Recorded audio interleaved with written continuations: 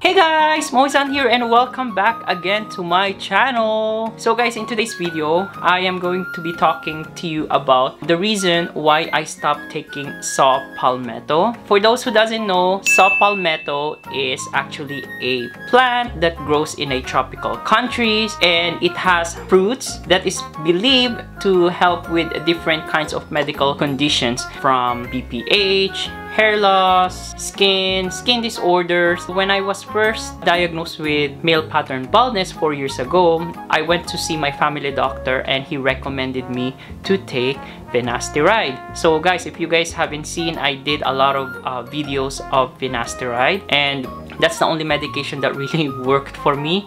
So my doctor recommended me to take finasteride 1 milligram. But because I do know this medication and it has some few side effects, I decided to go for an alternative treatment and decided to take saw palmetto.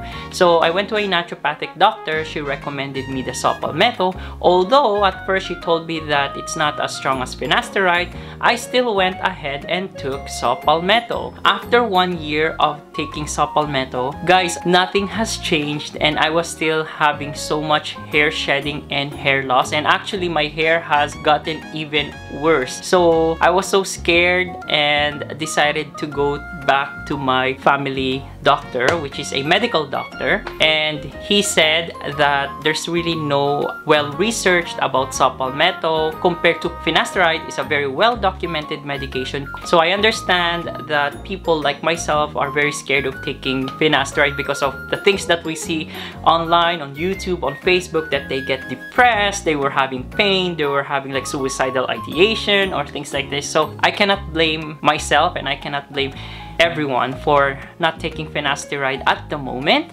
at that time, I stopped saw palmetto and started with my finasteride. So after 3 months, guess what? I had a lot of hair improvements compared to saw palmetto. So I was very, very happy and it just boosted up my confidence so much. I'm not saying that saw palmetto doesn't really work. Probably it does for a different medical condition. So I would say that if you want to prevent having prostate issues, especially if you're young, maybe you can go ahead and try to to take saw palmetto since it's just a supplement and you can take it with food. But if you're really having a severe hair loss or male pattern baldness, then I highly recommend that you take finasteride.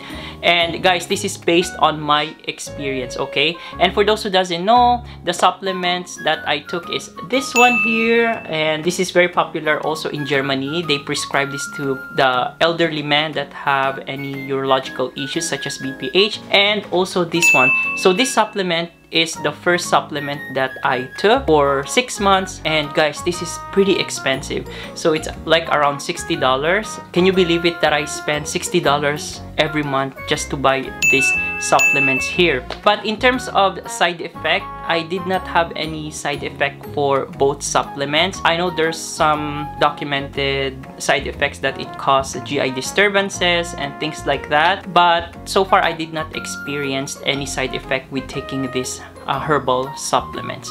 So guys, if you have any further questions with either saw palmetto or finasteride, it is always, always, always better to talk to your family doctor. And if you guys have any underlying medical conditions, always bring that up with your family doctor. So he or she can always recommend you which one is better.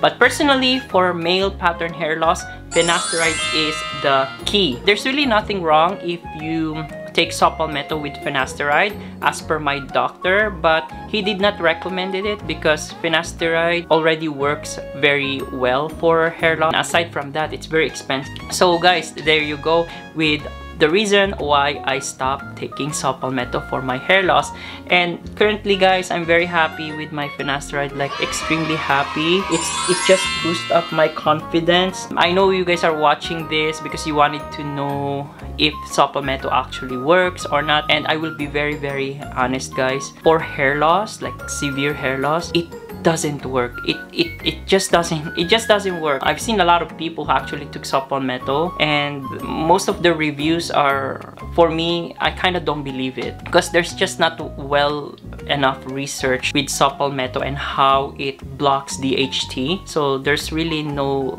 well documented informations on that.